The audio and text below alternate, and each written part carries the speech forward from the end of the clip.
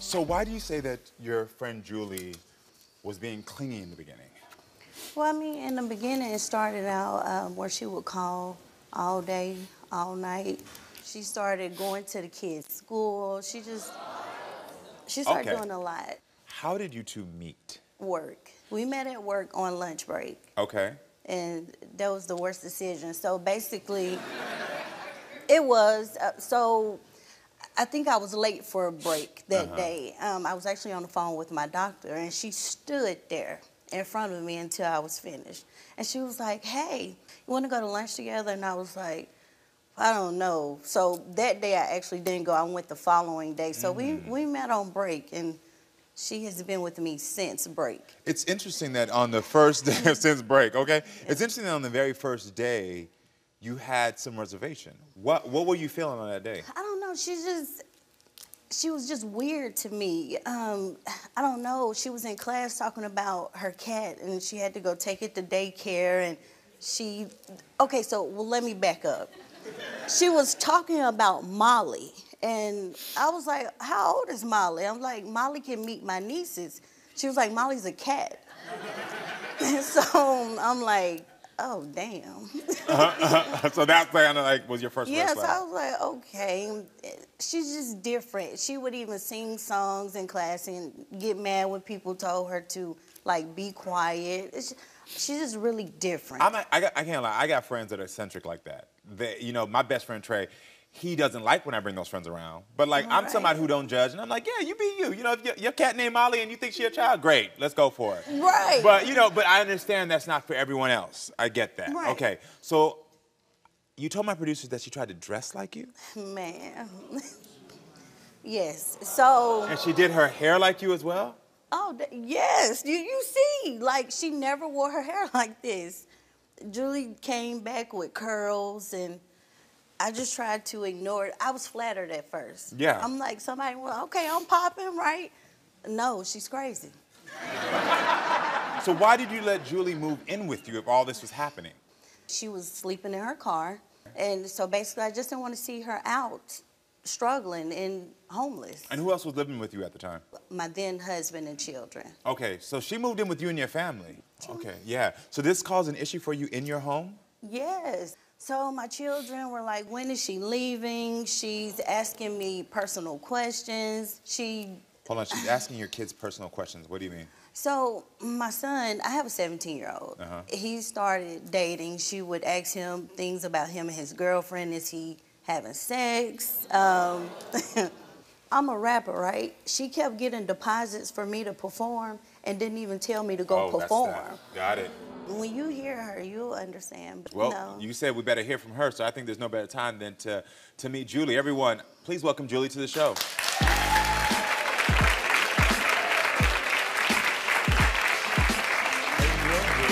Have a hug? nice to meet you. You look very pretty. Thank you. And different style.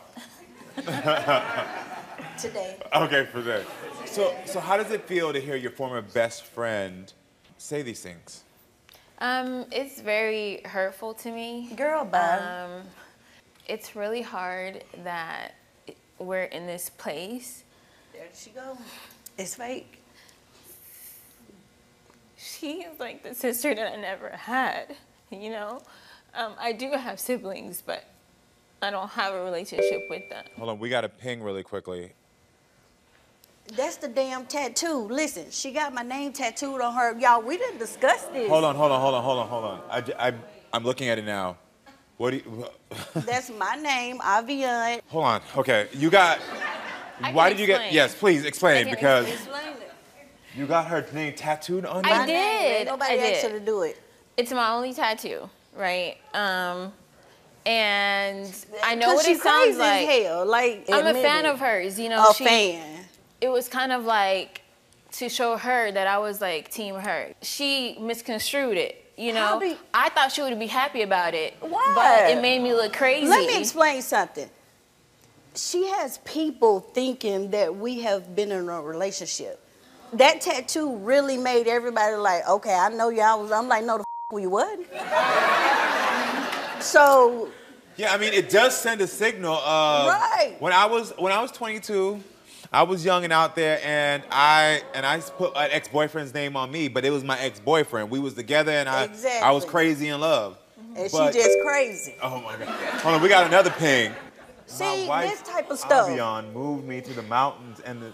See, this right here, let me tell y'all something. Some of my family is on her page, psychopath, and they called me. They was like, "Hey, Deuce, did you see that?" I said, "I see that dumb Why did you call her your wife?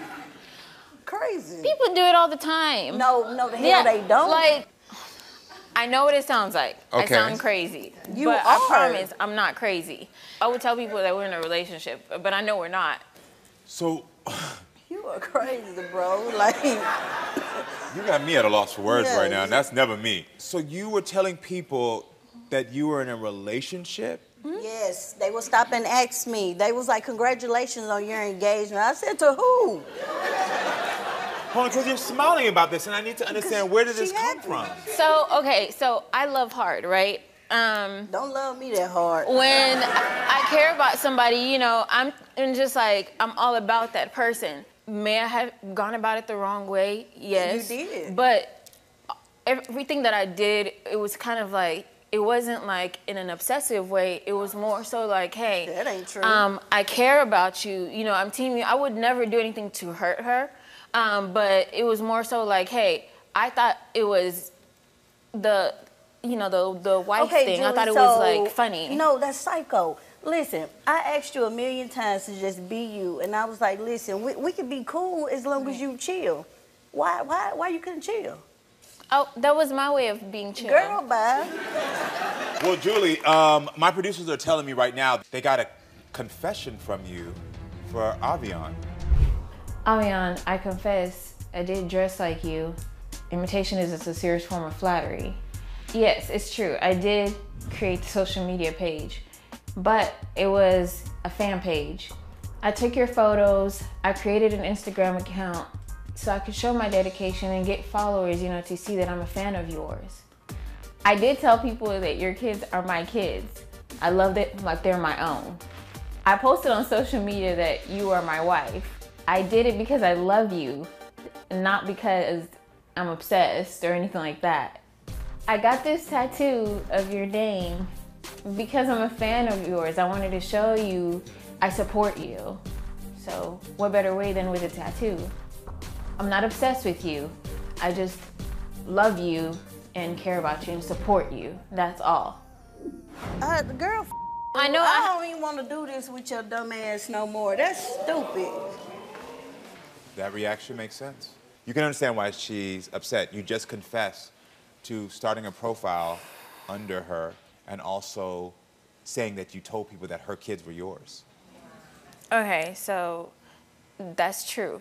I'm gonna go step by step. The kids part, right? I'm African, and in African culture, um, your friends' kids are your kids. Your sister's kids are your kids. You know. I understand Um, the village, village mentality. This is our tribe. Yes, I get it. It was in that sense. I don't have children of my own. Her kids, I felt like you know I would do anything for them too, since they are an extension of her. Got it. Um, it was in that sense. Okay, this one I got to say to this. I understand that there is a justification in your mind for each of these things, and I'm going to have Avione come back out in a second. But there's something called intention, and there's something called impact. Right. And I guess I understand your intention is to do one thing, but the impact that it has on Avione or anyone else is the opposite. Your intention is to show you I love you and I admire you and I think you're amazing. The impact is you're invading my space and you're making me uncomfortable.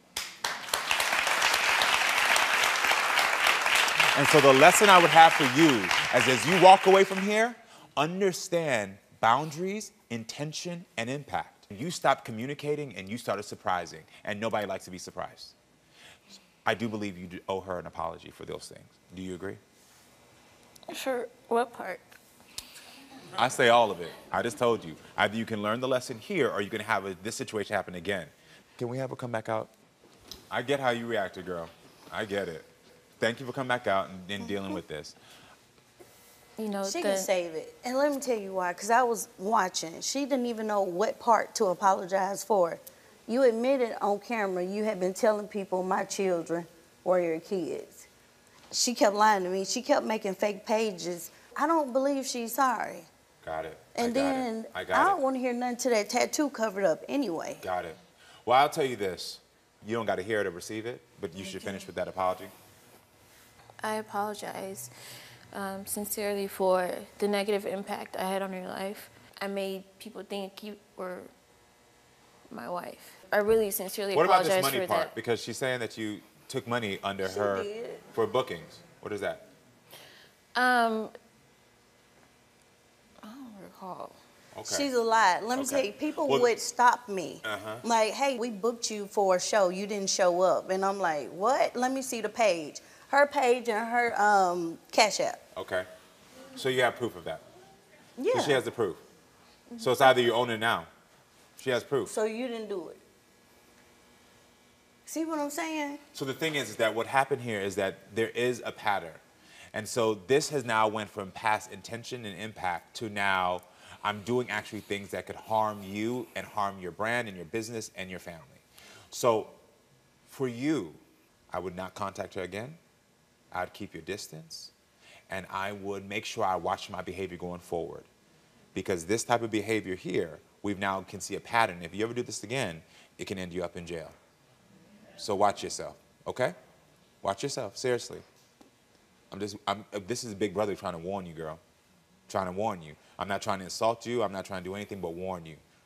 Let this be the first and last, because she did the kindest thing of bringing you on a show to kind of talk to you. This could have got a lot worse for you. You feel me? She don't believe it. I know. I wish you the best of luck. Protect yourself, and I wish both of y'all the best of luck, all right? Thank you. Yeah. Want more unlocked phones, DNA reveals, and family drama? Then make sure you're subscribed to the Karamo Show YouTube.